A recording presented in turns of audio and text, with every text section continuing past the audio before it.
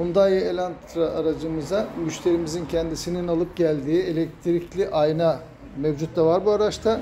Kapanan motorize olan modelini kendisi aldı geldi. Biz montaj uygulamasını yaptık ve ayna kapama modülünü de bizden kullandık. Ben satmıyorum.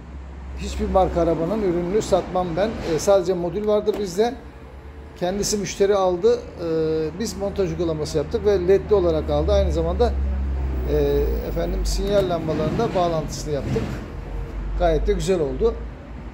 Modülü bizden, aynası kendisinden. Bu uygulamaları iş yerimizde montajlı modül olarak satışını yapıyoruz. Video altındaki iletişim bilgilerinden bizimle bağlantı kurabilirsiniz.